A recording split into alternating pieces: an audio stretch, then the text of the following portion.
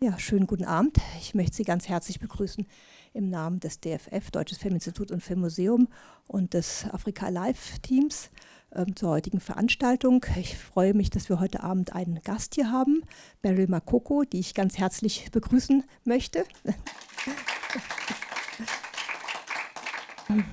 Beryl Makoko stammt aus Kenia, aus dem ähm, Kuria-Distrikt. Ähm, sie hat dann in Uganda an der Universität Kampala ähm, Film und, ähm, und Fernseh ähm, studiert und hat dort als ähm, Abschlussfilm den Film The Cut gemacht. Das war 1912, ähm, äh, 2012. Und den Film hatten wir dann 2013 hier bei uns bei Afrika Live gezeigt. Ich glaube, das war Deutschland, die Deutschlandpremiere damals hier. Ich weiß gar nicht mehr, ja, die Deutschlandpremiere. Und ähm, genau, schon damals hat sie sich mit dem Thema Beschneidung befasst.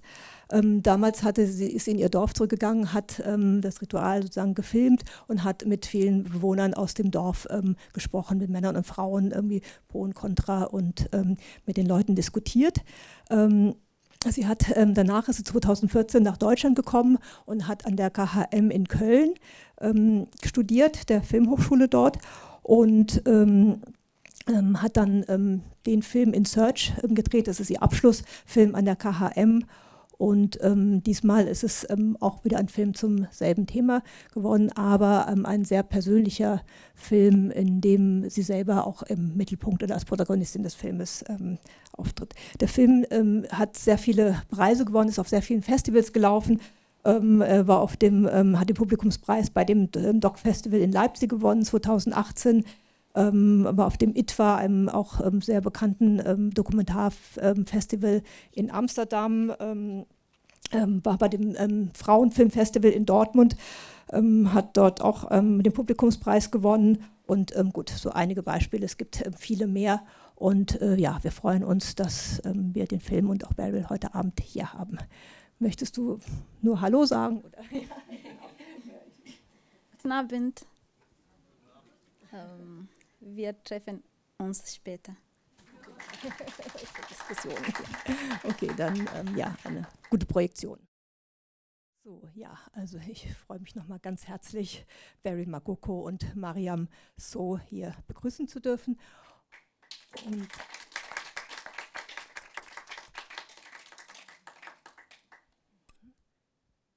ähm, Genau, ich werde zuerst ein paar ähm, Fragen stellen an Beryl und ähm, dann ähm, ähm, öffnen wir sowohl zu Mariam als auch ins Publikum. Ähm, genau, erstmal vielen Dank für den Film. Es ist ein sehr mutiger Film, ähm, weil ähm, genau du dich selber, ein sehr persönlicher Film und eben du dich selber in den Mittelpunkt stellst. du hast sehr lange, glaube ich, an dem Film gearbeitet. nachdem der erste Film fertig war, hast du mit diesem Film begonnen. Ähm, wusstest du da schon, wie dieser Film, dass du die Hauptperson sein wirst? Oder was war dein Ausgangspunkt?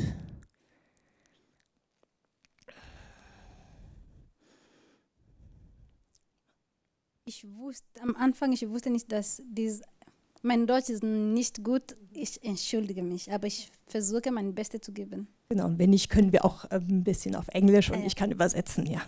Ähm, am Anfang, ich wusste, dass es solche OP gibt. Ich wusste das nicht.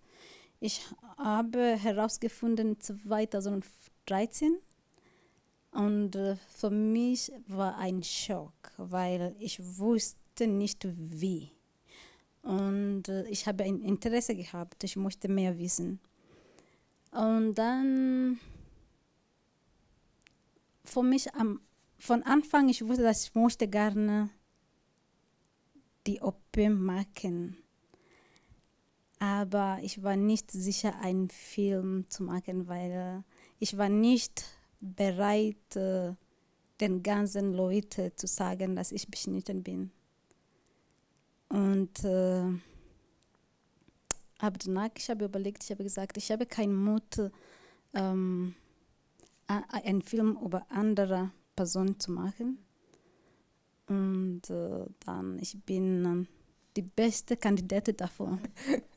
also von Anfang, ich wusste, dass ich, äh, ich, muss, ich möchte das sagen, weil für mich, äh, ähm, als ich den, als ich beschnitten wurde, möchte ich gerne mit jemandem über meine Geschichte erzählen. Aber damals hatte ich keinen Mut dazu machen. Aber dann, als eine erwachsene Frau, habe ich gesagt, vielleicht meine Story kann jemand anderer helfen. Ich weiß es nicht, aber ich glaube schon. Genau, und ähm, wahrscheinlich war es ja auch ein Prozess für dich, irgendwie mit vielen Leuten ähm, zu reden und ähm, sehr gleiche Erfahrungen ähm, zu sammeln. Und das hast du in dem Film ja gemacht. Und das ähm, gibt einem wahrscheinlich auch selber Mut für die eigenen ähm, Entscheidungen. Ja, weil für mich es war klar, dass ich konnte nicht über nur mich reden. Mhm. Ich möchte, weil es geht nicht um Beryl, es gibt andere, mehrere betroffene Frauen. Äh, wir sind mehr als äh, 200 Millionen. So, ich habe gesagt, ich rede mit anderen Frauen und äh, wir tauschen uns über unsere Erfahrungen und dann äh, wir schauen weiter wieder. Mhm, mh. Und ähm, war es einfach, andere Frauen zu finden, die bereit sind, auch über ihre Erfahrungen zu sprechen? Mm, nein. es war nicht einfach, aber mit den Frauen, die du hast heute gesehen, mhm. es war fein, aber es hat lange gedauert. Zum Beispiel ein Termin hat für mich zweieinhalb Jahre gedauert nicht ein Termin, zwei Termin. Hat zweieinhalb Jahre gedauert, bis die Frau habe gesagt, ja, wir können das machen, oder? Und es hat lange gedauert, bis ich wirklich eine Frau gefunden, die ich möchte gerne eine Frau finden, die hat OP gemacht und ist bereit mit mir vor der Kamera zu reden. Dass, yes, ich bin stolz auf mich oder ich habe diese OP gemacht und äh, mir geht es ganz gut oder sowas. Ich habe das lange gesucht, aber es hat nur am Ende vor ein paar Sekunden in die What?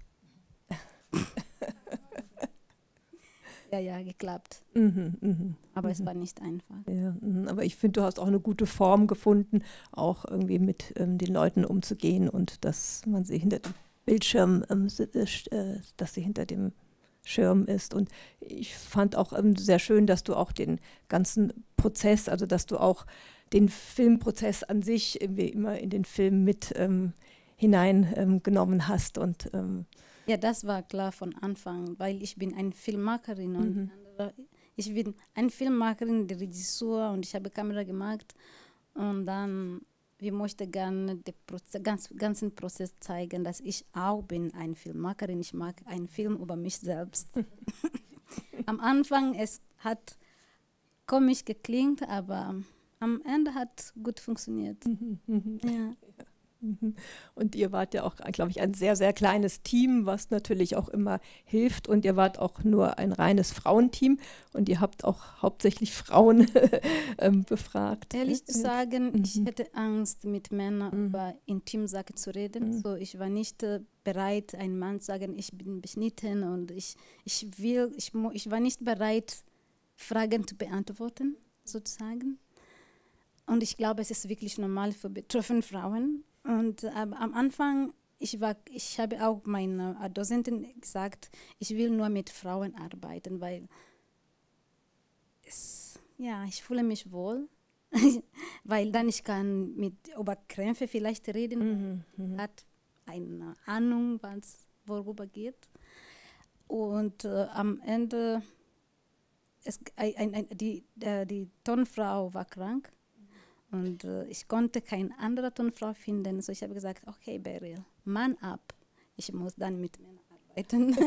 Deswegen habe ich mit zwei verschiedenen Tonen Männer gearbeitet und alle hat sehr gut geklappt. Es mhm. war immer ein klein, eng Gruppe. Mhm. Mhm. Gut funktioniert. Mhm. mhm. mhm. Ja.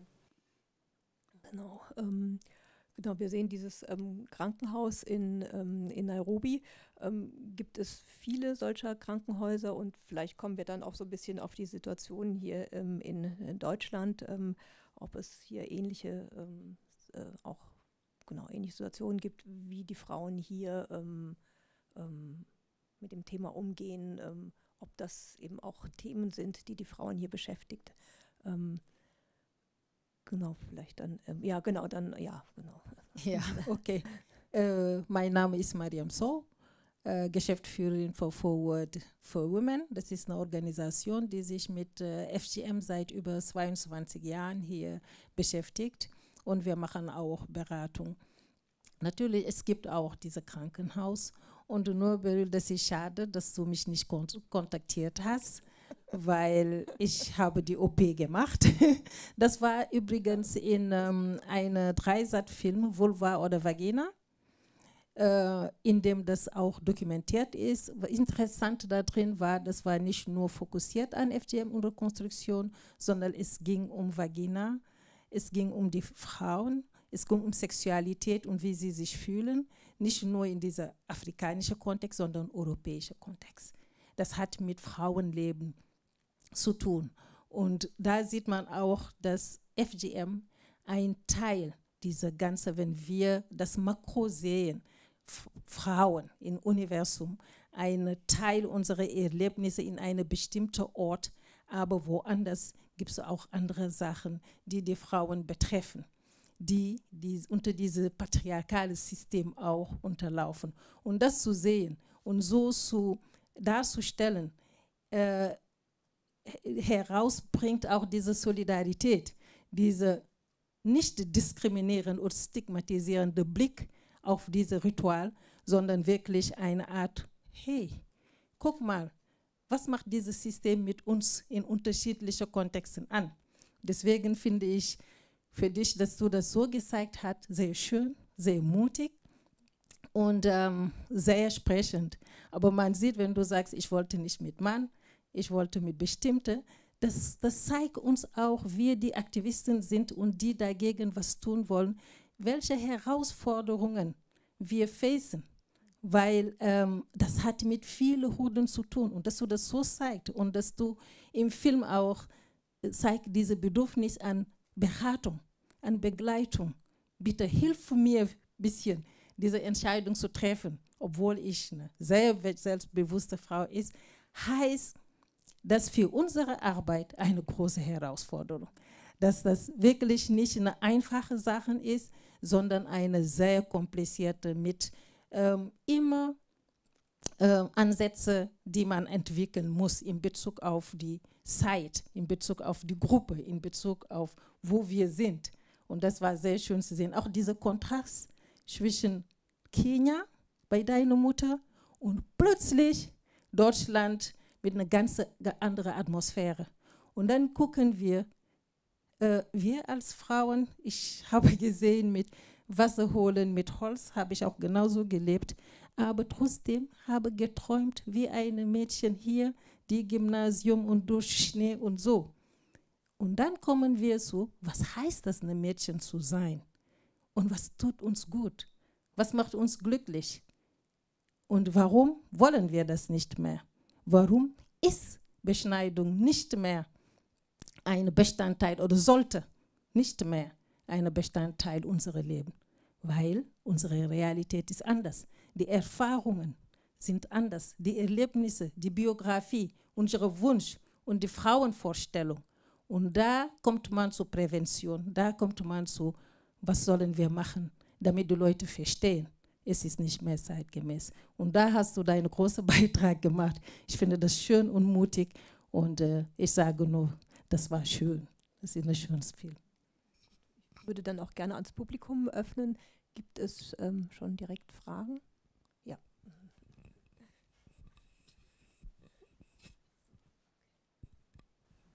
Um, I will just speak in English so to make it easier. Um, thank you first of all for the film. I really enjoyed it a lot in the very autobiographical sense of filmmaking. As um, she already said, the even the filmmaking itself already being part of um, the film as in the first shot the kind of switching between you and and the filmer you can already see it's going behind the screen and in front of the screen of the filmmaker in that sense, already showing that the filmmaker is part of the film. And and I have unfortunately not seen the cut, so that's uh, my disadvantage. But I was wondering, I mean, since these films are so heavily autobiographical and and intimate, very intimate, and I think at the same time very bold, but also very loaded with fragility at the same time, which I really liked. But I think that posits one particular challenge, which is the next film. because um, the question is then will you always make films in that very autobiographical sense or how i mean you could of course continue in the same um, with the same topic i mean there are i think many stories to be told and many different angles to be made about the film but it's it's very challenging in that th- this one was so extremely personal and and the question is how do you continue is is that the kind of style you would like to continue working with Braucht jemand Übersetzung noch? Kannst du vielleicht ganz kurz. Ah, ja.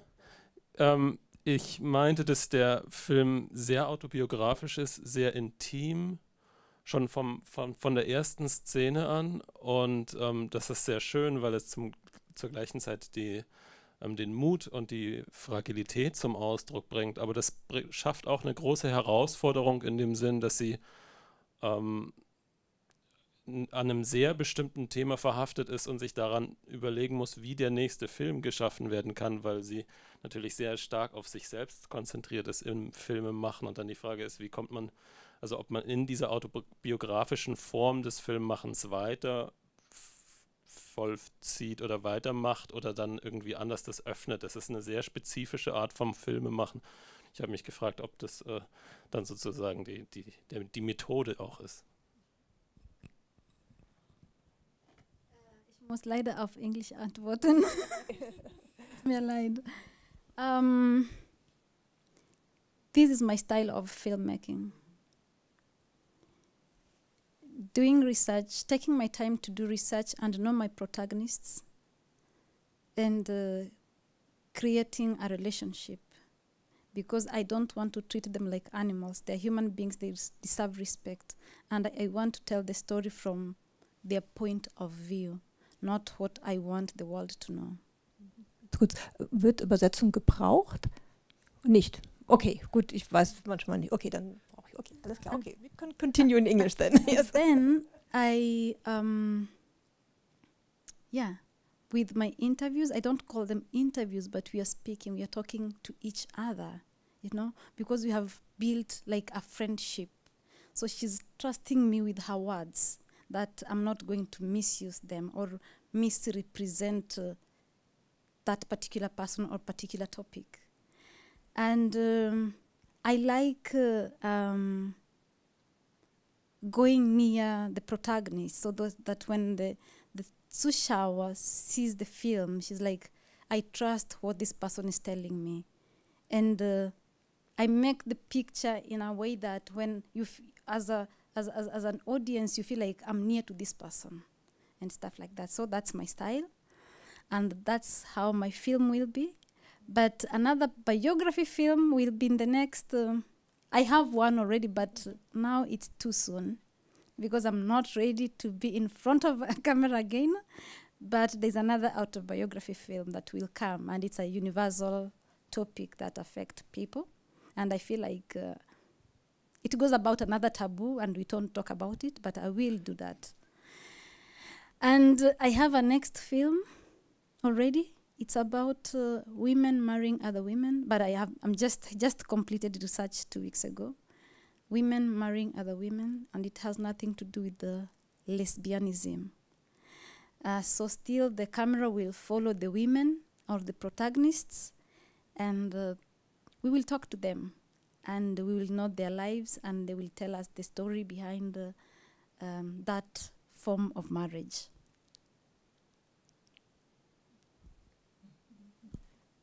And um, maybe you can tell us also something about your other project. Um, um, one question would be Have the film been shown um, in Kenya, um, this film? And this is, I think, related to, to your project um, you're working on, the Tat Tatsama. Ah. yes. Mhm. Ja, mein Film hat in Kenya, ich habe den Film in 2019 in Kenya gezeigt und es hat super gelaufen. I think that was the best screening, honestly. Ich hätte, ich glaube, ungefähr, ähm, das Publikum war 260 oder sowas. Am Anfang habe ich Angst gehabt. Ich habe meinem Dozent gesagt, there is no way I'm taking the film back to Kenya. That's where I come from. I can't. And she said, the time to be scared is over now. You were scared when you started talking about FGM. You've uh, came that. You have talked about it. People have to listen to you. You will go home and show the film. Then I was like, yeah, the time to be scared is over. I went home, I showed the film. Meine Mama war dabei. Meine Mama hat schon den Film Deutschland gesehen. Mein Bruder war dabei. I never told him what I was doing in Kenya because I was scared to tell him. But I said, I want you to come to Nairobi and see my film. He watched the film and he was, er war sehr stolz auf mich. Uh, alle meine Brüder haben meinen Film gesehen. So, aber manche Schwestern noch nicht. but they support me and they like the film, so yeah. Oh, uh, Tazama, um, ja. Es gibt ein, wir haben jetzt ein Projekt, uh, heißt Tazama, T-A-Z-A-M-E. Heißt sehen oder zuschauen. Wir möchten gerne den zwei Filme in afrikanische Länder oder alle Länder, die FGM praktiziert, zeigen. Und äh, ich habe ein Gefühl, dass äh, um, when other people see the film that other people are talking about FGM, maybe it will encourage them to talk about their, their to share the story. It's about uh, trauma, and I believe that uh, I have done it. I have talked about it, and I feel erleichtert. erleichtert. Yeah.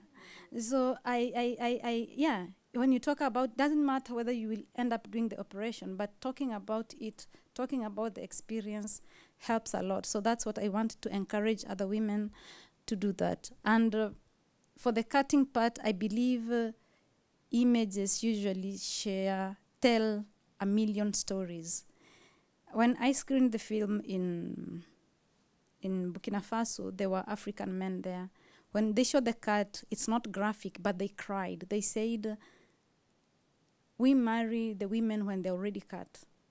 We really don't know what they lost, and we don't know whether they feel any pain. But seeing this film has changed my perspective." And these were African men talking like that. Of course, it was in Burkina Faso, but the men were coming from different uh, countries. And uh, I said that then when we show the films where the main problem is, maybe we'll change uh, people's perspective and stuff like that, and we'll end up uh, rescuing uh, many girls and uh, encouraging the women who went through FGM to talk about it. To heal. Das ist äh, die Hintergrund und momentan wir suchen Sponsors and uh, people to work with. ja, wie immer. ja, ich, mein Name ist Toba, ich bin aus Guinea. Äh, das Problem von der Beschneidung ist auch äh, sehr vorhanden in Westafrika. Ich kenne das, aber meine Frage ist, erste Frage ist, ob Ihr Film wurde schon in Kenia gezeigt. Also ich habe nicht mit, richtig mitgekriegt. Ja, ja. Also gut.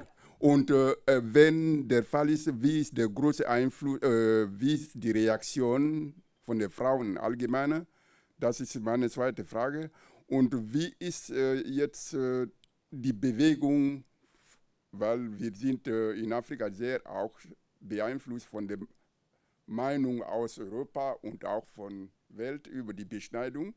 Wie ist die Reaktion, die Haltung, Haltung der Frauen allgemein in Kenia? haben die statistische oder ge gewisse allgemeine Meinung darüber, damit man sieht, ob die Mehrheit dagegen ist oder, die, oder wie ist diese Pro und Contra da. Und das ist eine Anfrage, die ich stelle nur da, weil in Westafrika ist sehr stark auch vorhanden. Ja. Ähm, ich habe den Film leider nur in Nairobi gezeigt und in Nairobi die Leute dort sind alle studiert, die den Film gesehen haben und sie hat verschiedene Meinungen. Und äh, sie hat den Film sehr gut gefunden. Ah, das war falsch. Gefallen. und äh, ähm, äh, wie heißt das?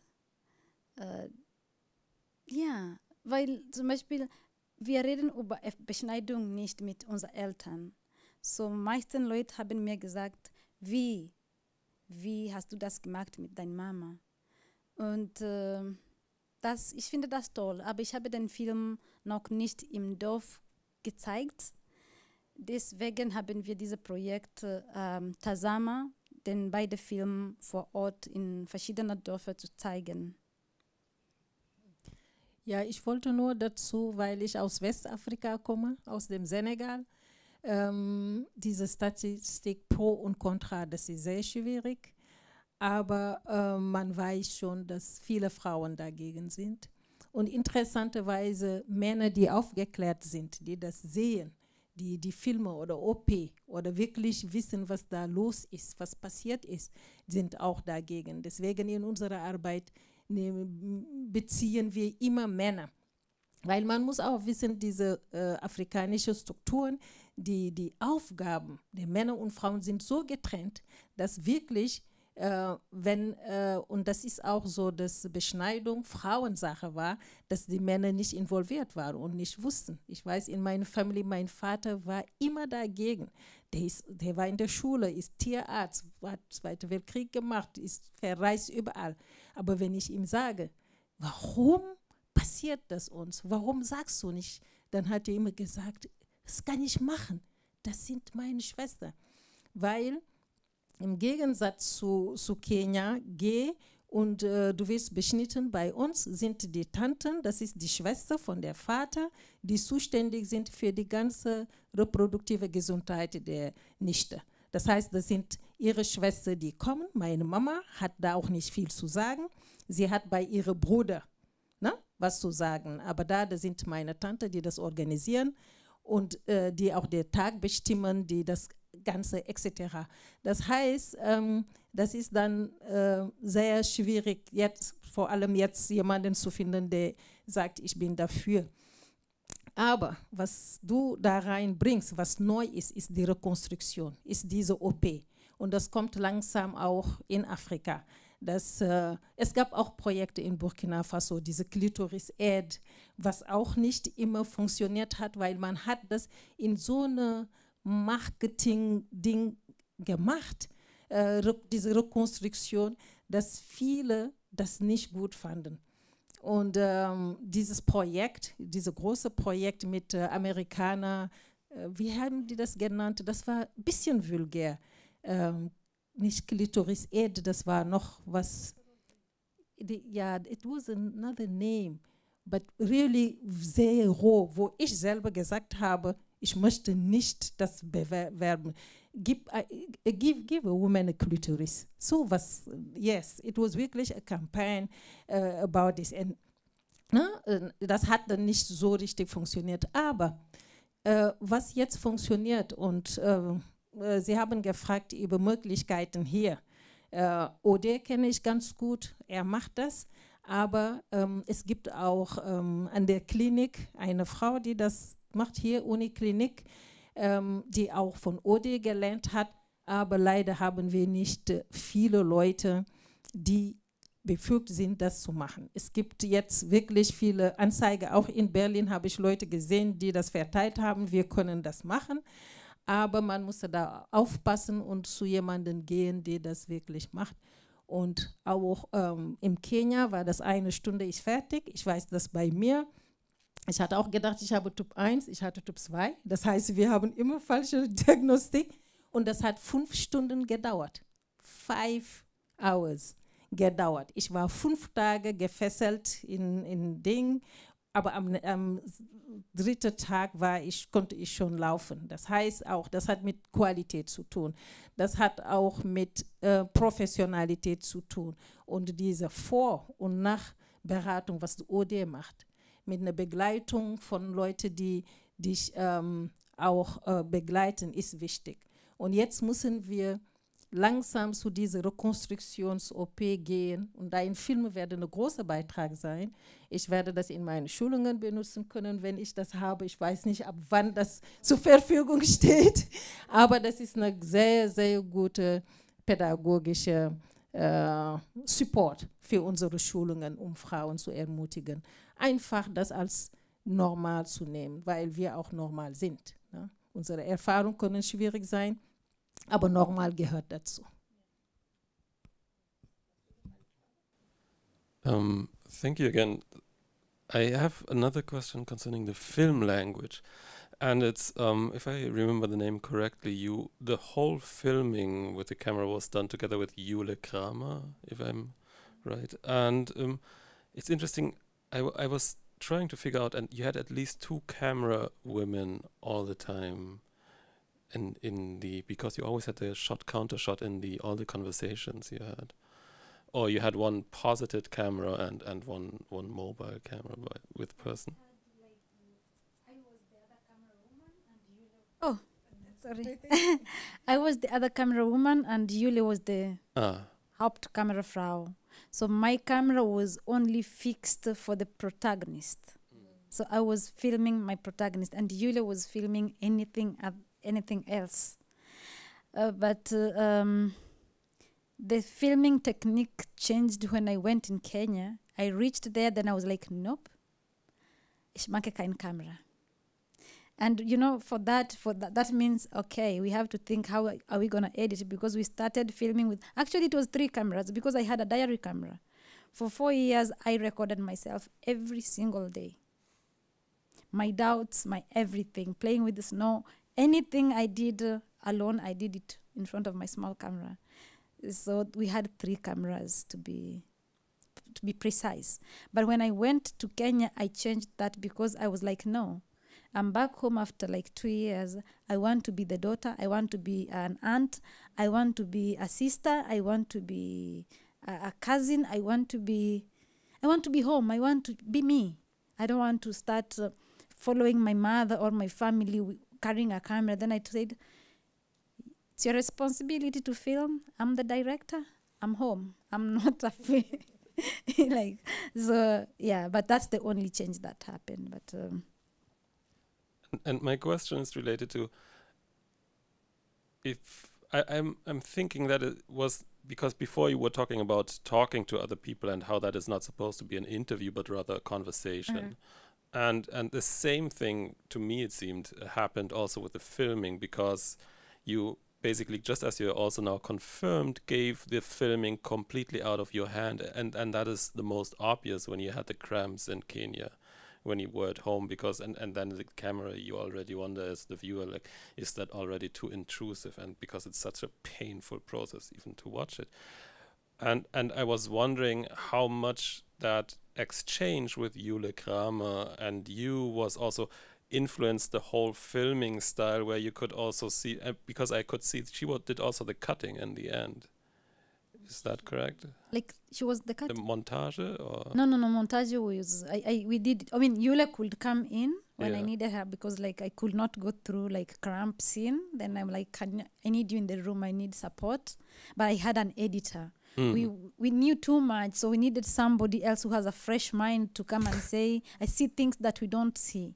I couldn't do it on my own because I was afraid of re being re-traumatized. Hmm. But uh, what is your question? I was wondering. I mean, it's in in that sense, in in that very the filming intimacy beyond the, the the interviewing intimacy, the filming intimacy of of working so intensely with another camera Yeah. woman, um, I would assume heavily influenced the whole production of that film and the whole film language. It's it's a dialogical film language in in the camera that is being Yeah. produced. And I was wondering, are you also carrying this forth at in your filming style? As you said before, you were doing a very much an autobiographical. You know, um, this film, I can say it's really very particular because this is my first uh, biography film, a film about myself. So it has kind of special in a way because most of the time I am in the camera, most of the time I'm outside the camera, I'm the other side, you know, and she's alone. I'm the other side of the camera. But this time I was like the vulnerable one. So um, we talked. Like for example, I I seen like uh, Fadum the woman with the curly hair. I just told her we are going there, we are going to film. So you we will you then it's like I will film you setting up the camera and we talked before, but we didn't discuss how this the filming will be. Or when I'm talking to the woman behind the green stuff, I didn't know that I was going to walk out. So it was not set up. It was just uh, I decided to like I am done with the film. I can't take it anymore, and I walked out. So it was not planned, but there's some things like, okay, I want you to like do variation of shots, close up, wide shots in this discussion. That's the only thing we discussed. So she's a creative person, and she had to. And uh, I understand your point because Yula is my friend. I mean, she's my best friend. We met day one in the university, and we talked, and relationship grew. So even when we were we were filming, I assume most of the time I was like, okay, I'm talking. I assume I'm talking to my friend because I was so nervous most of the time. Then like, I assume I'm telling Yule the story. I don't see the other camera. So that also helped to bring out the intimacy. So I don't really know if I worked with somebody who is not a friend how the film could have turned. But I believe the story could have remained the same, but maybe it could have like this sort of uh, tightness or closeness uh, with the camera woman. But I think the friendship played a big role also. Yeah, because we worked on the film for four years. So that was our breakfast, lunch, supper, everything. Ähm, ich habe eine Frage. Meine Frage geht an Frau So. Ähm, in diesem Kampf gegen, also beziehungsweise dieses Engagement gegen Beschneidung, vor allem in Westafrika, ich wollte wissen, ob ein Bestandteil Einfluss von Religion dabei ist. Ob das spielt eine Rolle. Das heißt, obwohl Islam oder Naturreligion, ob dieser Aspekt spielt eine Rolle dabei. Äh, ja, ich bin ein Peul aus dem Senegal im Norden und die sind sehr konservativ, das wissen wir. Wir wissen auch, dass Senegal ein äh, Gesetz hat, äh, was das verbietet, aber und da waren auch viele NGOs, die sehr engagiert waren, die auch in der Region waren, die auch viele Aufklärung gemacht haben, die auch ähm, in den Schulen äh, das als ähm, Bestandteil ähm, aufgenommen haben in äh, den Curriculum. Aber trotzdem, weil ähm, irgendein Imam, irgendein Chef religieux, wir haben sowas, dieser Gelehrte, ähm, sagt, äh, aber das ist gewollt im Islam. Und das war wirklich ein Hindernis ähm, für unsere Arbeit. Aber irgendwann haben wir auf der nationalen Ebene auch äh, Netzwerke, angefangen Netzwerke zu binden von allen Leute, Akteuren, die diese Arbeit äh, hindern konnten. Das waren ähm, die, ähm, die Imams, ein Netzwerk von den Imams. Wir hatten andere, das ist ein Netzwerk von Journalisten. Wie berichte ich darüber? Was sage ich? Was, was ist meine Rolle? Aber auch von ähm, Lehrer und Lehrerinnen. Äh, wie bringe ich das bei in einer Gesellschaft, die so konservativ ist? Weil wir wissen auch, zu sagen, es ist verboten, aber mach das nicht, ist schlecht, das funktioniert nirgendwo. Das hatte auch damals mit der AIDS-Prävention in den Schulen und das hat da sehr gut gepasst. Das heißt, in Senegal, ähm, das war auch sehr pädagogisch angegangen und deswegen hatte das auch viele Wirkungen gehabt. Ich war da von 2004 bis 2010. Ich, äh, ich habe da in einem NGO gearbeitet. leider Gottes, ich weiß, kann es mir auch nicht erklären, die letzten Jahre erleben wir einen Rückgang und, äh, von, von FGM. Leute, die das praktizieren. Aber ich glaube, das hat mit unserer Zeit zu tun, wo Leute noch konservativer geworden sind, noch gläubiger geworden sind. Es hat mit vielleicht unserer ähm, eigenen Krise zu tun. Ne? Die Leute suchen sich und finden einen Gott, der dann alles verbietet oder alles. Äh, das ist deren Referenz.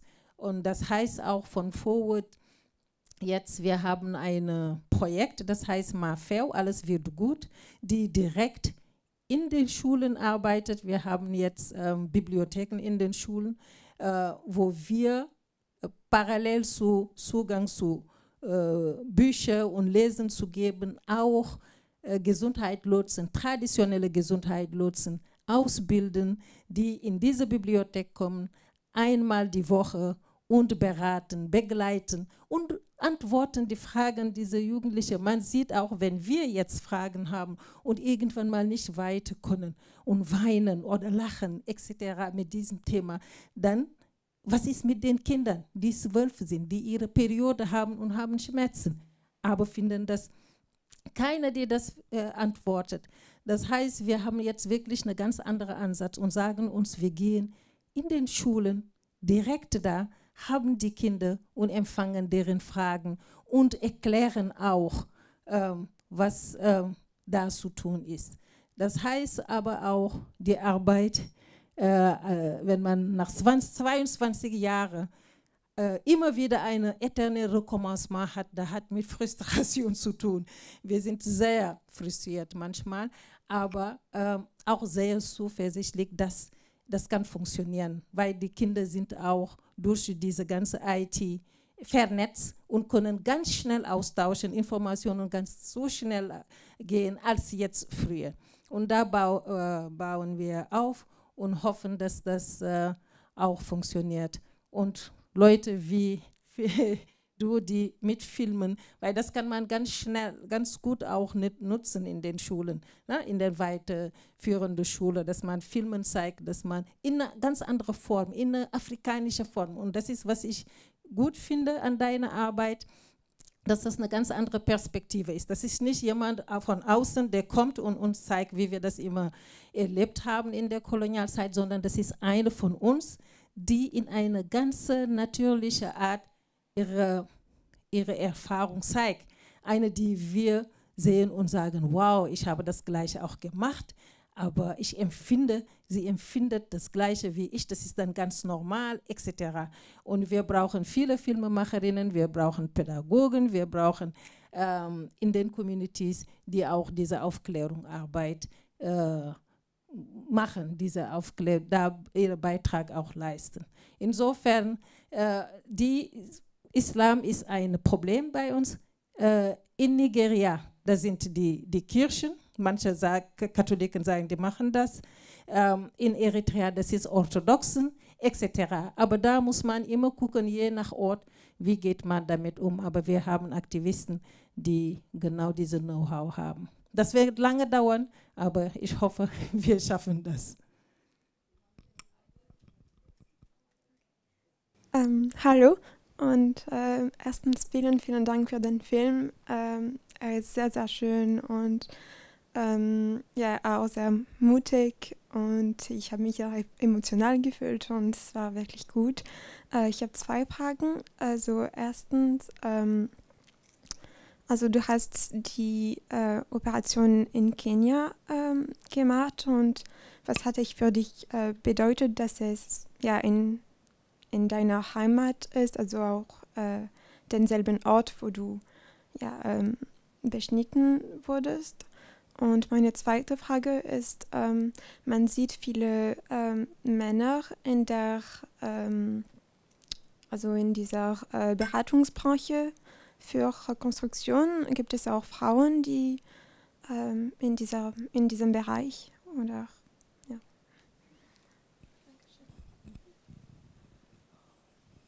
Ähm, ich möchte gerne mein OP in Deutschland machen, bei Dr. Dan. Mhm. Ja, ja. Aber Ähm, denn äh, ich war damals privat äh, Insurance? versichert. Ah, Und dann äh, Dr. Ode hat einen äh, Brief geschrieben zu der äh, Versicherung und ich habe einen Brief gekriegt, dass äh, wir, äh, we don't treat all disease. Ich kann das auf Deutsch nicht sagen. Wir können nicht alle Alte Krankheiten. Krankheiten behandeln. Mhm. Und dann sie war, sie hat mich rausgeschmissen. die, die Versicherung. Und dann, ich hatte keine Versicherung und dann, ähm, nein, ich war noch Kurs versichert oder sowas. Und dann, als ich herausgefunden, dass diese solche OP in Kenia gibt, ich habe dort gedreht, aber ich möchte auch, ich habe gesagt, oh, mag keine Panik, ich mag mein OP in Kenia. Aber meine Entscheidung wirklich war impromptu. Ich habe nur am Dienstag gesagt, oh, ab morgen ich mag auch diese OP. Es ist die erste Mal, diese solche OP in Kenia gibt. Ich will auch among the first people to do it. So, aber als ich in diese OP-Tisch, keine Ahnung, Bett oder sowas liegt, ich habe gesagt, oh my goodness, I'm making another terrible mistake. ich habe Panik, ich habe gesagt, nein, nein, es ist keine Mistake. Es hat alles in Kenia angefangen. I'm gonna end it in Kenya. So für mich wirklich, es war, mein OP war nicht geplant. So I was like, okay, I'll go with what I get, so to say das. Ja. Ähm, die zweite Frage habe ich leider vergessen. Leid. Achso, Männer, achso, ob es auch Frauen in der Wo Beratung waren Männer? Ja, zu dieser OP, ob die das, ne? Frauen, ob Frauen. Mhm. Ah, das war in, nicht in Deutschland, das war in Kenia. Wir haben auch gute Hospitals. Das war in Kenia. Eine Frau hat die OP gemacht, die war einem. Die, wie soll ich sagen? He, nee, nee, he was a man. yeah, she was a man before. Ja, und ja, er ist, die ist trans. Jetzt ist eine wunderschöne Frau. Und, aber damals, die war mehr, mehrere Jahre hier, die war ein Mann. Und dann jetzt, die hat das, die OP gemacht. Und es gab, äh, es gab ja Männer, aber die war die einzige Frau und die andere war Männer und es gab die andere Nurses und äh, Anarkosearzt. äh, So, ich glaube in Kenia die Leute, die nur diese OP machen, sind Männer. Aber hier in Deutschland, es gibt, ähm, in Berlin, es gibt ein Waldkranken, wie heißt das? Ja, Waldkrankenhaus oder sowas. Ja, ja. ja. In Berlin in gibt es eine Berlin Frau. gibt's- Gibt es ein Rekonstruktionscenter? Ja. Es gibt nur Männer, die das machen. Nur jetzt zur Versicherung eine gute Nachricht. Wir haben ein Netzwerk für viele Organisationen in Deutschland und wir haben wirklich äh, gekämpft, damit diese OP, die Rekonstruktion auch von den Krankenkassen ähm, äh, bezahlt werden, übernommen werden. Das wird jetzt finanziert. Auch privat jetzt geht. Privat auch. Aber in 2006, 15 und 16, Das war ein 16. ja, geht nicht. Die, ja, sie hat gesagt, wir machen das nicht. Aber beide jetzt äh, bezahlen. Okay, das ist doch eine gute Nachricht, genau. Ja, wir müssen jetzt leider zum Ende kommen, weil wir noch draußen eine andere Vorstellung als danach haben. Aber ich möchte mich ganz herzlich bei euch beiden bedanken und auch beim Publikum bedanken für die Fragen. Und ähm, ja, und wir sind gespannt auf Beryls nächste Filme.